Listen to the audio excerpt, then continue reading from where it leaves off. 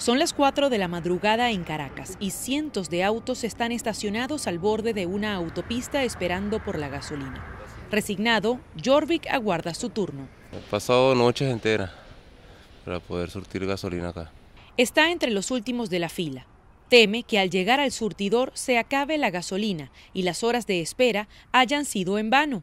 Pero eso no es lo único que le inquieta. Bueno, yo me he quedado sin teléfono por culpa de eso. ¿Por qué? ¿Cómo que te quedaste sin teléfono? Eh, nos roban en la cola, se paran los motorizados, nos quitan los teléfonos. Ninguna de las personas que están en el lugar pueden asegurar que el combustible alcanzará para todos los que están en la cola, incluso desde el día anterior. Para resistir, llevan alimentos, bebidas y algunos objetos personales que les den algo de comodidad o distracción para pasar el tiempo que deben esperar traemos la almohada y pasar trabajo, pues lo que hacemos nosotros aquí en Venezuela con la gasolina. ¿Por qué pasas trabajo? Porque nos humillan los guardias, nos corren para allá, nos corren para acá, pasan 100 primero adelante de ellos, de los VIP, ellos cobran 5 dólares por pasar.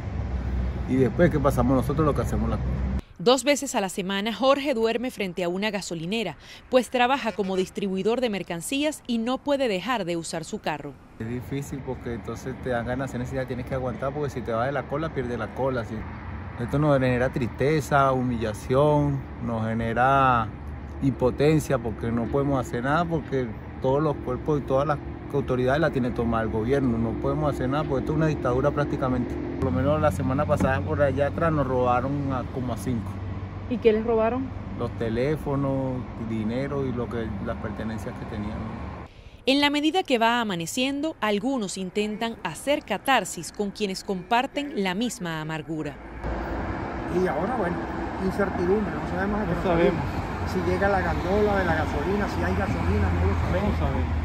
Pero bueno, eh, seguir esperando. Ya en la mañana, por toda la ciudad, las hileras de vehículos se cruzan entre sí. Muchas de ellas ocupan al menos tres cuadras. El cansancio es evidente. El gobierno en disputa de Nicolás Maduro ha intentado frenar la escasez de gasolina con importaciones directas de Irán. Desde el pasado 24 de mayo han arribado a Venezuela unos seis tanqueros de esa nación.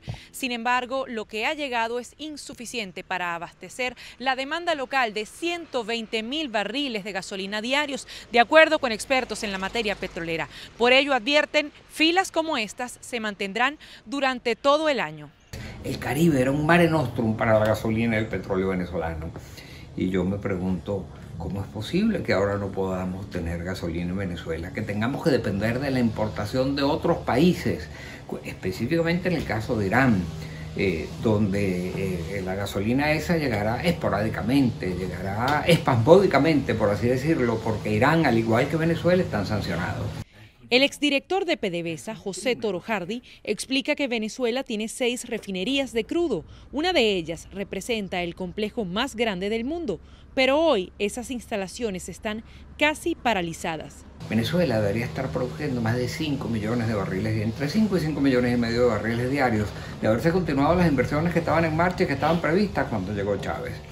Este, y hoy en día, pues, según la OPEP, 339 mil barriles por día eh, según fuentes secundarias que cita López, y, y muy probablemente volverá a caer.